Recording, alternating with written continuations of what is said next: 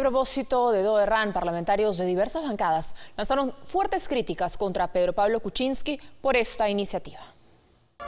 Desde el Congreso no se quedaron callados. Los parlamentarios criticaron al electo presidente Pedro Pablo Kuczynski, quien pidió a los trabajadores de Doerran marchar al Congreso. Creo que hace una ligereza. Un presidente no puede estar convocando a movilizaciones, a paros, a enfrentamientos entre poderes. Hace una ligereza que esperemos con el transcurso del tiempo y con la experiencia que vaya ganando como presidente no vuelvan a suceder. El presidente del Congreso, Luis Iberico, dijo que mientras las marchas sean pacíficas no habría mayor problema.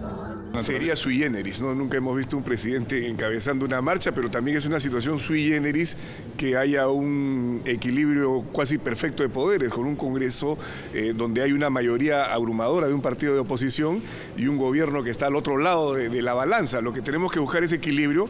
Desde Fuerza Popular indicaron que evaluarán la problemática que aqueja a las familias de La Oroya y a los trabajadores de Doerran.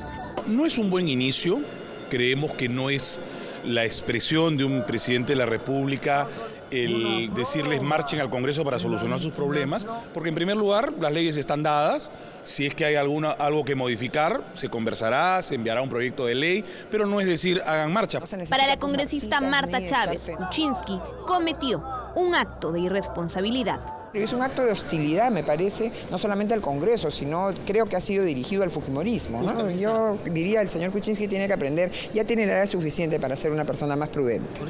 Víctor Andrés García Belaúnde dijo que la presidencia no se debe usar para agitar las masas.